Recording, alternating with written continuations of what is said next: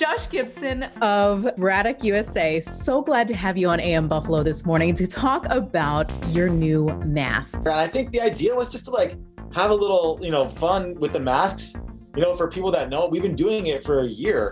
So we figured why not just put some graphics on there? We haven't printed any graphics on any masks and we own a print shop. I had a client and a colleague at the print shop and he actually has the, the trademark. So we partnered uh, with him and he's, you know, he, he's doing all the artwork for us and he's, you know, we're making officially licensed VHS you know, uh, gear. That's wild. I mean, from somebody who actually remembers having to hit the record button on my favorite shows and have to carry one of those big VHS there it is, the cameras. Yeah, exactly. This is kind of amazing for me. I'm just thinking to myself, this makes total sense for somebody, especially in the TV business, to just feel a little retro. You know, it's not just TV. I mean, if you look at um, like Facebook and Instagram, the 90s filters are really popular right now. You know, the wavy, you know, uh, staticky videos, that's all from VHS. That was really what we had to deal with. So tell me exactly how people can get a hold of these. It's BraddockUSA.com, and we have a promo for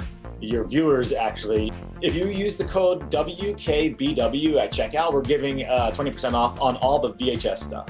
That's awesome. That's Actually, on everything, on the whole site. What's the pricing on the mask? The masks they range anywhere from like five bucks a mask all the way up to like you know seven dollars, eight dollars a mask. But we sell them in packs. So these these VHS masks come in three packs. Some of the other masks come in five packs. We sell 50 packs, and when you buy a 50 pack, it just brings the cost down a little bit. But they're reusable, and we also use the dry fit lining. How excited are you personally to be able to have the VHS logo on your masks? I mean, yeah, personally, you know, as a kid from the 80s and the 90s, it's it's everything to me. I just love that logo. I love that whole world. You know, we were talking about having to record on a physical tape uh, you know, the program you wanted to watch. And now people collect them. There's a whole subculture, you know, around collecting and sharing uh, you know, videotapes with workout videos and very obscure instructional videos. And there's a film festival too, as well, that tours the country showing VHS tapes. So it's like a